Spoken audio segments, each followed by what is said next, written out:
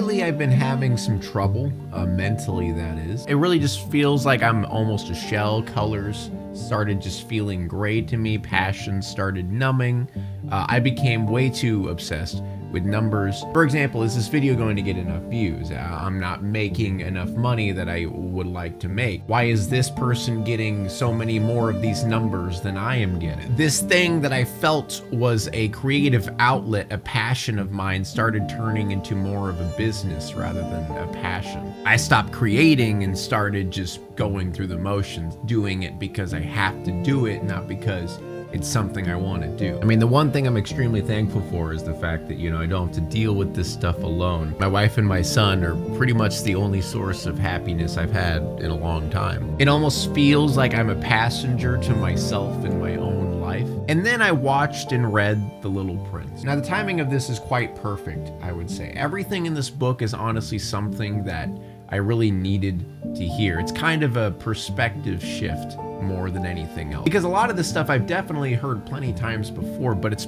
the perspective that it's set in that made it different. Now, for those people who just look at this book for the first time, instantly you're going to think, this is a children's book. And I'm here to tell you that it would be a huge insult to consider this book just a children's book. Anyone out there right now, I highly, highly recommend that you get this book. It's 83 pages. There's even pictures in it, okay? And you know, it's not just words. Now, in this video, we're going to be focusing more on the movie element of this book, but I am also going to be covering portions of this book because it's really good. Little Prince is a story that is narrated by an aviator that crashes in the middle of the desert and meets a little prince. And this little prince came to Earth from a different planet. And this prince speaks about his journey and his life, relationships, work, creativity, life, death, adulthood. There's so much to cover in this book. I feel like the best way to describe this book is kind of adulthood from the perspective of a child. Because adulthood honestly seems foolish at many times to a child. I mean, in life, sometimes you really need that naivety of a child to truly grasp uh, how simple things truly are that you make difficult. You know, adults really only care about numbers, you know, how old you are, how much money you make, uh, how many people do I command. Things that in a sense have absolutely zero intrinsic value. Anything that is essential is invisible to the eye. There are a lot of lessons that come with this movie. Literally on the first page, we talk about creativity. The idea that when you become an adult, you forget how to be creative. You, you kind of lose your imagination. The aviator talks about how when he was younger, he drew a picture of a snake that ate an elephant. But every adult ended up just seeing a picture of a hat. And so the aviator decided to draw a picture with a detailed elephant on the inside of the snake. And the adult's response is a classic, hey,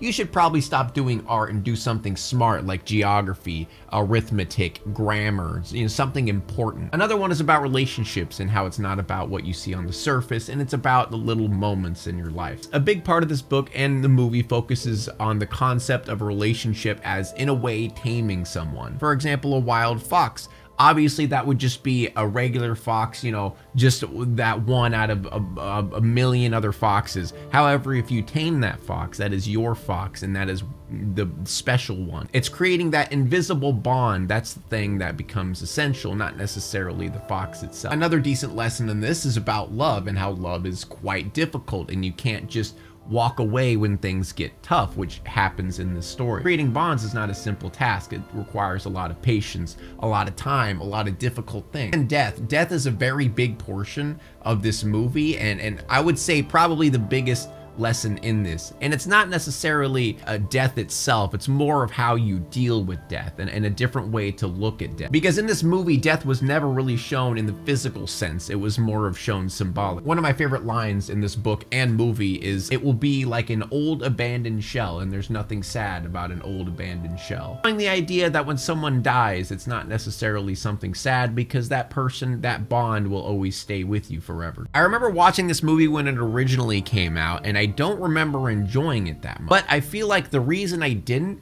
It's because I wasn't really watching it properly. I wasn't paying attention enough. You know, I was just watching it on surface level, you know, just it looked like a basic Pixar movie. But let me tell you, it is way more deep than just a basic Pixar movie. So let's start focusing more on the movie because the movie kind of took the book and made a story around uh, the story of the book itself and kind of how it would relate to the real world today. Which I feel like this book you would consider a timeless classic. It is one of like the best selling books of all time because it deals with the human condition condition and it will never go out of style because it always relates to something. It takes place in the perspective of a child being raised like a machine. You know, every time of every day is planned. There's like a specific regimen down to the minute, down to the second that this little girl has to do every single day in order to get to this perfect school. She is basically what you would consider an adult in a child's body, doing everything down to the minute, leaving no time for the creativity, for just being a child in general. And then we have the polar opposite, which that would be the aviator who lives next door to the little girl and is the narrator of the story. He is what you consider a child in an old man's body. And throughout the movie, they become friends and kind of learn from each other because they are polar opposites and it works out. They kind of teach each other. And the ending of this movie is quite different uh, compared to the book because it kind of continues on the ending of where the book left off, leaving you with a little bit more of closure. Whereas in the book, it kind of left it on an open ended note where you kind of just had to, you know, use your imagination in a way. And I just want to say, holy shit, this movie is beautiful animation and music wise. I mean, sure, a lot of the movie is the standard Pixar style animation, but the parts I'm talking about that are beautiful are the stop motion parts where you actually hear the aviator talk about the story. It literally looks like you are looking at a moving book because they actually used paper in order to stop motion all of these characters. And it turned out so fucking cool. And the soundtrack is amazing, obviously, because it's Hans Zimmer. You know, the man behind Pirates of the Caribbean, Interstellar, Dune, and so many more. The music is whimsical, it's fun, it perfectly aligns with the creative childlike wonderment. There's so much good in the film, so let's actually talk about the film finally, okay? I'm gonna do it, I promise. But before I do, I have a question for you guys. Do you smell that? It's like Doritos, Red Bull, and sweat. Oh, wait. That's you. You guys really need to up your smell game. So why not try Scentbird? This is one thing I use to freshen up when I play games because let's be real, I never leave the house. But seriously, Scentbird is reimagining how people find and experience fragrances. The perfect way to find your style, maybe start a collection, you know, not having to spend loads of money on the big packages. Instead of buying an entire bottle of fragrance, you could just choose a new designer every single month for a measly fee of $17. And every month you get to pick the fragrances that you want. No surprises whatsoever. And they come in this nice convenient little package. It's like a little magnetic thing, pop out see what you got. It's actually really convenient, I'm not gonna lie. Like imagine having one of these, you just slide it into your pocket, maybe in your purse, or something like that. They have perfumes, they have colognes, it's all unisex. And with each fragrance, you get a 30 day supply, you know, I guess depending on if you spray a buttload a day. Don't be that guy all right? Use it sparingly. And all it takes to find out your preferences is a simple little quiz that you do on Scentbird. They recommend scents to you, you pick them, and boom, bam. And I would say my favorite scent is right here, Parfums de Marly Paris Percival. I said that perfectly. Just saying. With hints of mandarin, pink pepper, lavender, Germany, Germany, it smells good. That's all I know. And if you guys use my code in the description or listed right here, you can get 55% off your order. That's just above $7 for your first month of Scentbird. And this is only available in the US and Canada, by the way. So get your Scentbird today, and thank you, Scentbird, for sponsoring this video. Stop stinking.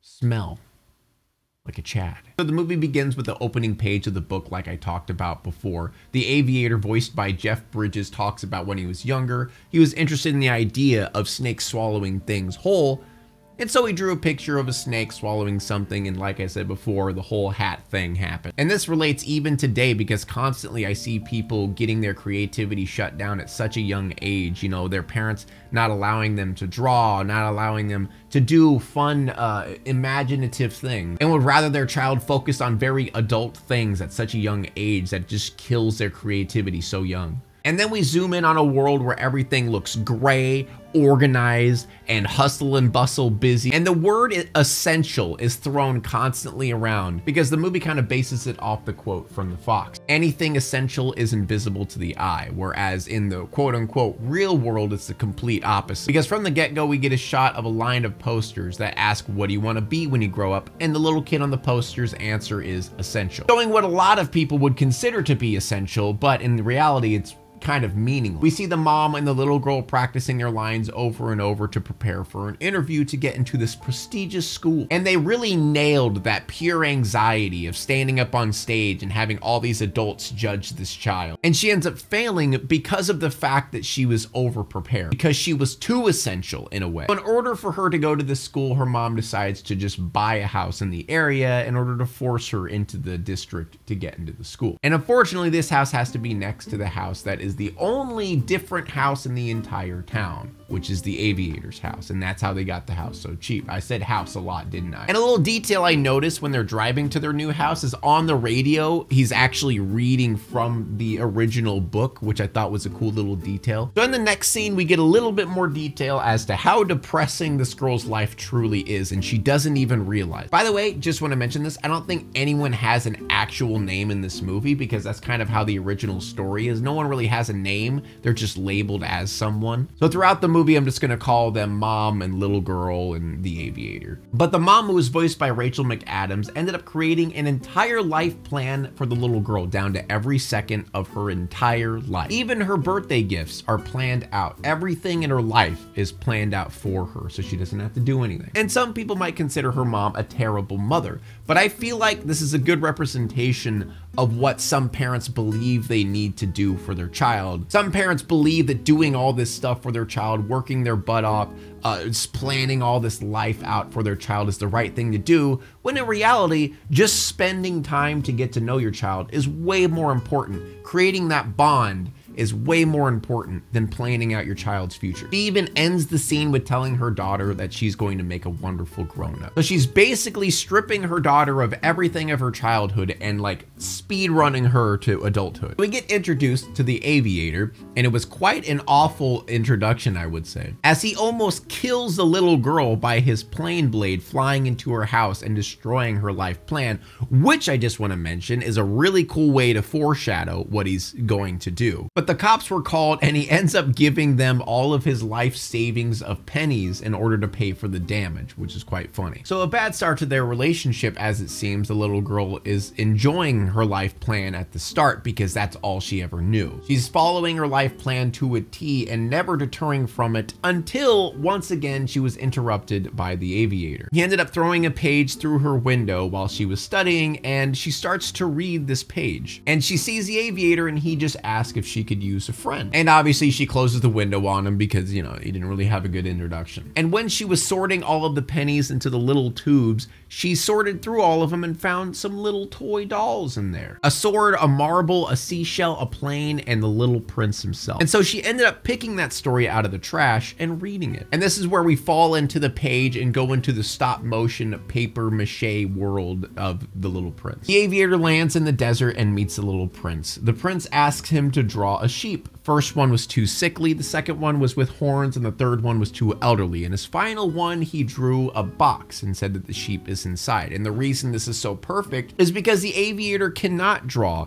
what the little prince wants, so he lets the little prince imagine the exact sheep that he wants inside of the box. It's almost like the little prince was testing his like creative mindset. It's such a cool way to describe imagination and perspective. Now the story piqued the little girl's curiosity, so she ended up going over to the old man's yard, and I just want to say I kind of strive to be this old man when I'm older. Just his yard full of junk art and all this different stuff is just I, I, I kind of want to be that. So she starts asking him questions about the story in a more logical, analytical manner because that's how she was raised. Asking questions like, okay, why is there a boy in the middle of the desert? Like, he probably wouldn't be able to survive. Where are his parents? So he invites her into his home in order to give her the next page of his story. And his home is filled with loads of collections, or as he refers to them as hoarding. That's it, hoarding That's what I am, a hoarder. And her response, once again, is very analytical as she sees all of this as a fire hazard. Again, she's viewing everything at face value, everything that's in front of her, everything that she could see, everything that she would view as essential. I, again, showing that contrast in characters that they are. The aviator tells her a little bit more of the story, and this is where the little prince meets his rose. His planet was very, very small and took a lot of effort to maintain. He had to constantly get rid of baobabs, which I guess are plants, if they grow too much, then they will destroy his entire planet. And one night, a sprout that he's never seen before came out of the ground and it turned into a rose. He instantly fell in love with this rose, but gradually her vanity started weighing. They both loved each other very much, but were too young to quite understand how to manage it and the work that goes into creating a bond and the patience. And so the little prince ended up leaving his planet. This story is cut off by the little girl's alarm to get back home. And when her mom arrives, she sees that she didn't really do any of her stuff. And the little girl told her that she met a friend, and her mom kindly uh, put her friend on the board of her life and said that she could play with her friend next summer, only on Thursdays from 1 to 1.30. A little extreme, I would say. Instead of going to sleep, she reads more of the story and sees that the little prince is on his journey. He stumbles upon a king that lived on a very tiny planet. He claims that he rules all of the stars, however, he can only command them if conditions are favorable. He is a representation of what you would say power. And I would just like to say I'm very happy I read the book because you really get a better sense of what these characters represent and uh, who they're supposed to be. Because in the movie, you really just get a small snippet of because he talks as if he's a king, but his commands are quite reasonable to the point that they aren't even really commands. Almost as if he's convincing himself that he rules over the stars and rules over people. Like for example, when the little prince asks if he could give him a sunset, he says only when the conditions are favorable, around 740. That's when I will command the sunset to happen. Next, we have the conceited man who is addicted to admiration and applause. Someone who desires attention so much, it's the only thing he craves. He wears a hat specifically for the reason to salute acclamation, which is obviously a representation of that very thing. So people who are obsessed with admiration and applause, having a bunch of followers, for example, when in reality, it, it doesn't really have any value. Next, we have the businessman who claims that he owns the stars and wants to make more money to buy more stars and count more stars. And in the book, he even talks about how he writes the number on a piece of paper with his name on it and saves it, which seems like such a ridiculous thing to claim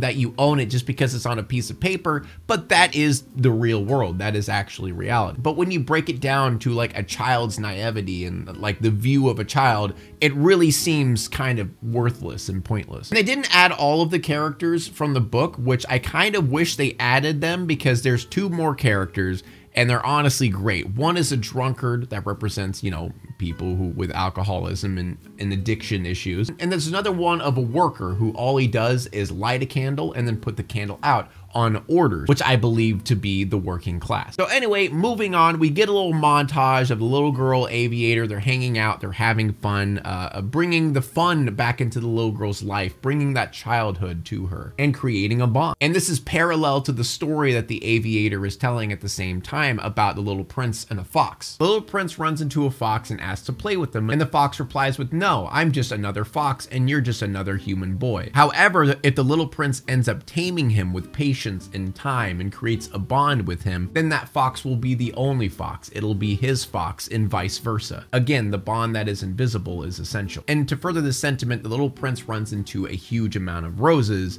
and then he starts feeling sad because he realizes that his rose is just another common rose. But the fox tells him that it is not a common rose because it's his rose. You spent the time with the rose. You devoted all of that love to that rose. So it is your rose. It is special. And then the fox says the famous line that you can only see rightly with the heart and what is essential is in invisible to the eye. We finally found out what the fox says. Okay, I'm sorry that I had, it, it, it was there it, the joke was there. I couldn't not say it. It's not even a good joke. It, it was there. You know what I mean? I couldn't. So the aviator tells the little girl that he's really happy that he finally found someone to listen to his story before it's too late. And this causes her to be like, yo, what do you mean too late? The aviator tells her that he's going to join the little prince soon. He's going to take off on his plane and go join the little prince, which you can take literally as a child watching this movie, or you could take it as an analogy for death, which actually is what it is. Now, this makes the little girl quite upset, so he ends up taking her to get some pancakes. However, he's not really a good driver and he doesn't have a license. He ends up getting pulled over, and you know, an old man taking a girl in a car never really looks good, even with the kindest intent. So her mother finds out that the old man was actually the friend that she was talking about. He goes over and gives the aviator a talking to. And this is another good example of how this mom is trying to be a good mom in a bad way because she thinks that she's supposed to manage everything in her life and work all the time in order to make money for her to get the perfect education, you know, the perfect life. Her doing all this work, working herself to death is just neglect in a way. And it shows really strongly here because she actually forgot her birthday, which is a little detail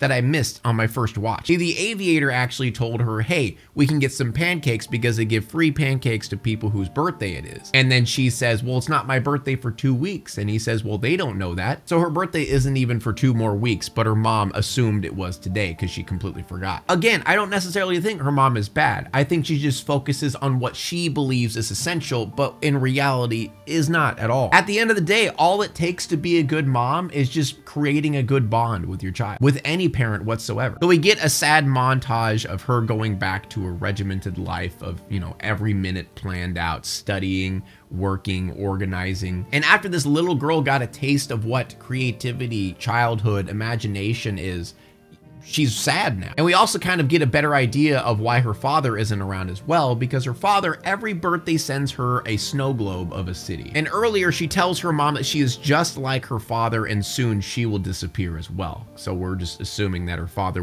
worked so much that he just got lost in his work and just abandoned them because he was focused on things that he believed to be essential. So she eventually gets the rest of the story out of the trash, tapes it together, and then we see that the little prince and the aviator in the middle of the desert happen to find a well. And the little prince tells the aviator that the people here grow thousands and thousands of roses, however they can't find what they're looking for. But maybe what they're looking for is just in a single rose or maybe a small drink of water. Honestly, I would say 99% of this book is quite quotable. So the little girl ends up making a decision. She wants to go with the aviator to see the little prince. However, the aviator tells her that he can't see her anymore, assuming that, you know, her mother went over and probably threatened him. And then he tells the little girl that he has to go alone and he can't bring her with. And she's confused, so he ends up telling her the end of the story. The end of the story is quite sad, depending on which way you see it. The little prince makes a deal with the snake, asking him to send him home because the little prince is homesick, which requires this snake to bite him and kill him. And he ends up leaving the aviator with a gift. Among one of the stars in the sky, the little prince will be laughing. So whenever the aviator looks up at the sky, every one of the stars will be laughing. He tells him that the trip is too far and he can't carry his body with him. It is like he will be an abandoned shell, and there's nothing sad about abandoned shells. So I think you could kind of figure out here that this is really just about death. In a very different and honestly pleasant way to view death. And after the aviator finishes the story, she starts realizing what the aviator meant when he said that he has to go alone. He means that he's gonna die soon and he can't take her with. And the little girl's analytical brain starts taking over again, you know, telling him, how can you know for sure that the little prince is out there? How do you know that he found his rose? How do you know that he's on a star and he's okay and he's laughing? And after realizing the truth of the situation, she gets angry and tells him that she hates the story and it's stupid and leaves. And then one night when she comes home, she sees an ambulance at the old man's home. She takes a bike and rides it to the hospital and sees him wheeled away. And this is where her mom starts to realize how important this man truly is to her. So the little girl at night ends up sneaking out to get to the old man's plane in order to find the little prince. Now in the book, it just ends here. You know, the little prince gets bit by the snake, uh, he passes, and that's it. That's the end of the book. However, in this, they kind of make a closure to the said story. She ends up flying the plane to find the little prince and she notices there's no stars in the sky. And she finds an asteroid or planet that is covered in skyscrapers, very similar to what she gets from her father in those snow globes. And while she's flying, she sees what appears to be the little prince on the roof of one of these buildings. She ends up landing in the middle of the street and a cop shows up. And this cop just so happens to be that conceited man who is obsessed with attention. But how she was able to get away was getting everyone to clap for him and, you know, he had to tip his his hat, he couldn't help himself. He heads inside the building to find the little prince, and she ends up running into the king, the one who commands the stars, and now he commands the elevator. And how she was able to get him to allow her to the top floor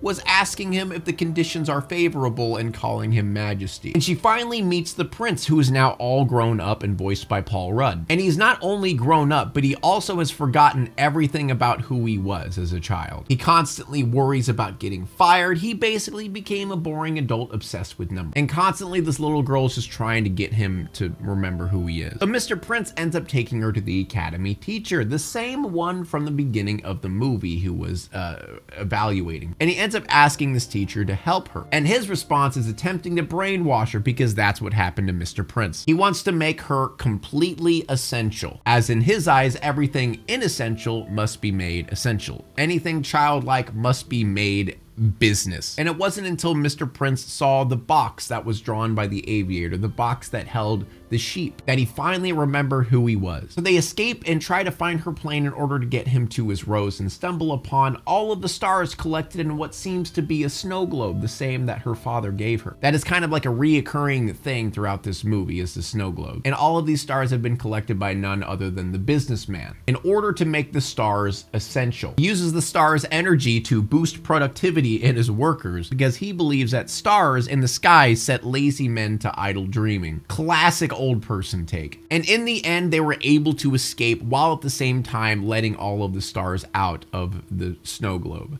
and back into the sky. Flying back to his home planet, they pass by all of the other planets that he saw on his journey. They even do a little reference to the ones that we didn't see, the one of the drunkard and the one of the dude with the light pole. They head back to his home planet that is consumed by baobabs, and when he finds his rose, his rose turns into dust. However, the little prince isn't sad, but this causes the little girl to break down saying that she doesn't want to lose the aviator. She doesn't want to grow old. She doesn't want to forget him because everything that she did here, saving the little prince, bringing him back to his rose, was in hopes that in some way it would save the aviator. However, after she sees the little prince's rose in the sky, and the little prince returns to his original form to tell her that his rose will never leave him. And that's when she realizes that the aviator will always be with her even after he leaves. He will just be that abandoned old shell. And again, there's nothing sad about an abandoned old shell. The movie ends with the little girl and her mom going to visit the old man in the hospital so she can give him a gift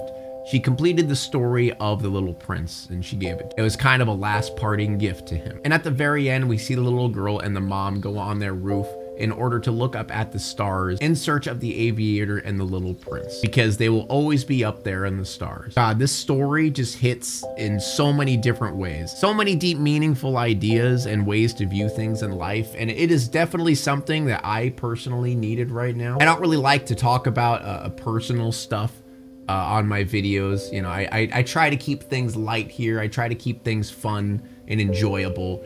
But, uh, you know, this one really spoke to me in a different way. So if you enjoyed this video here, I hope that you subscribe and such. And always remember to hold on to your creativity and your childlike wonder. Don't let it fade.